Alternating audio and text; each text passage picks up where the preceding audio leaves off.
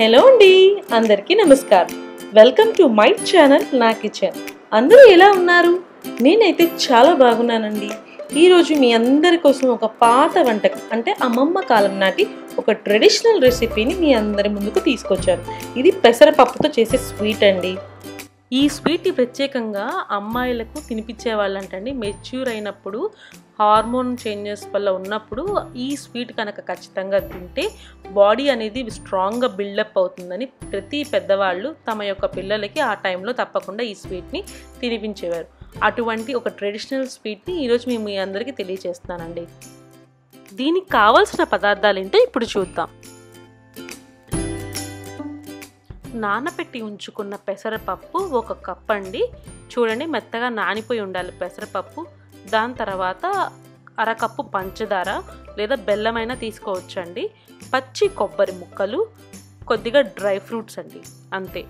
Dry fruits వచ్చి జీడిపప్పు బాదం పప్పు కిస్మిస్ ఇంకా రెండు ఇలాచీ తీసుకున్నానండి నేను. పెసరపప్పుని శుభ్రంగా కడిగి ఒక రెండు గంటల సేపు మంచి నీటిలో నానబెట్టుకొని దాని తర్వాత ఇట్లా మిక్సీ జార్లో వేసుకొని మిక్సీ పట్టుకోవాలండి. పెసరపప్పు బాగా నానితే కనుక పేస్ట్లా అవుతుంది.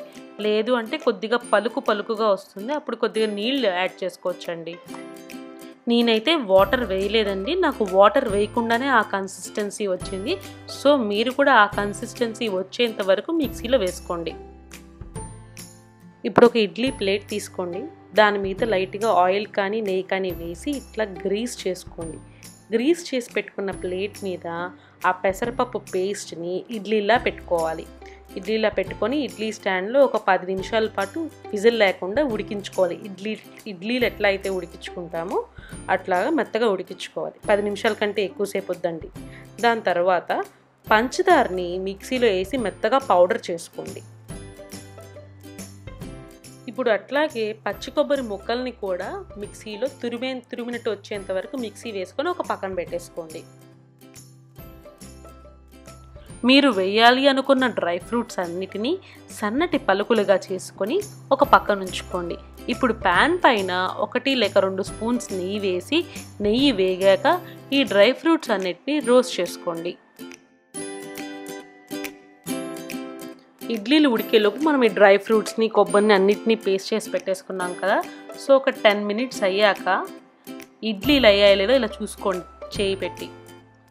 ఇడ్లీలు కొద్దిగా చల్లారాకే తీయండి లేకపోతే వేడిగా ఉంటే మనము వాటిని పట్టుకోలేం కదా. సో కొద్దిగా చల్లగా అయిన తర్వాత వాటన్నిటిని తీసి ఒక బౌల్లో వేసుకోండి.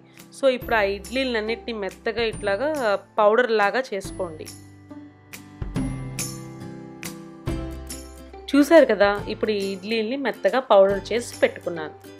ఇప్పుడు ఒకదాని తర్వాత ఒకటి ఫస్ట్గా వేసుకోవాల్సింది కొబ్బరి తురుమండి కొబ్బరి తురుము వేసుకొని బాగా మిక్స్ చేసుకోండి.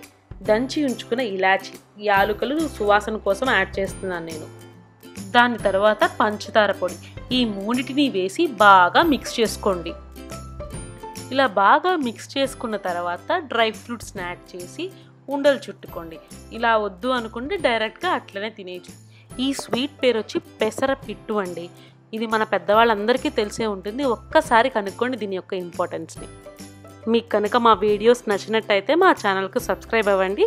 మరిన్ని వీడియోస్ కోసం బెల్ ఐకాన్ని ప్రెస్ చేయండి. Thank you for watching.